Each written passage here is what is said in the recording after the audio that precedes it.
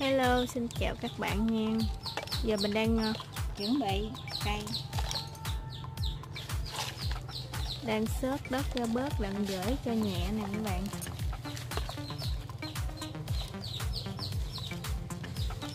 Cây lưỡi người, cây lưỡi nhân. Gửi cho một bạn ở ờ, Bình Dương. Đó, xớt qua cái chậu nhỏ làm cho ít đất lại cho nhẹ, đỡ tốn tiền phí. Có đất là nó vẫn sống bình thường nha mọi người.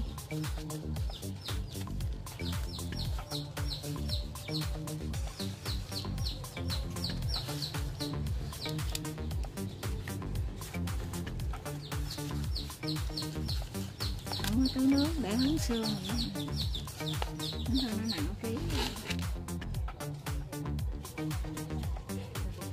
cái gì là được à, mấy lá nè cả chục lá rồi mấy lá nè.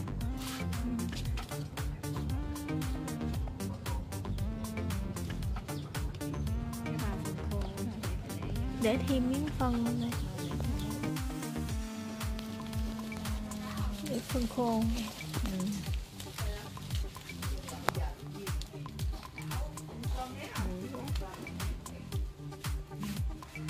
miếng nước cho nó nằm xuống.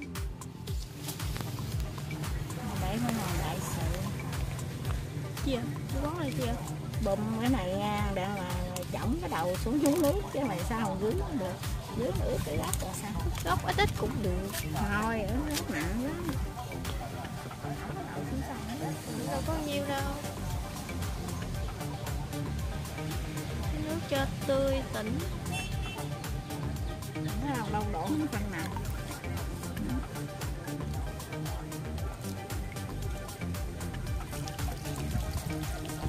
đắp miếng lục bình vô cho ấm gốc hả rồi nó chết rồi dưới miếng nước nữa. Nó miếng nước đi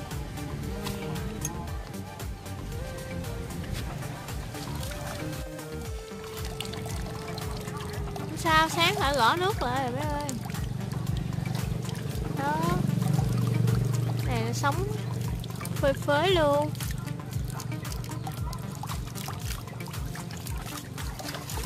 Gửi về ba cho. cây đằng này là ba cây đằng đó nha một chùm này là ba cây nè. Ờ dạ. Chùm này ba cây gửi về cái cho bạn đó hạ xuống chậu lớn rồi nó sống. Ừ.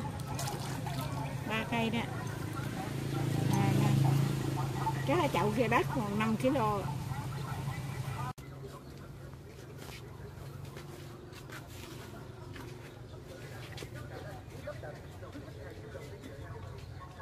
đây mình để cái chậu ở đây nha mọi người. Sáng mai mình sẽ đóng thùng. Gửi đi.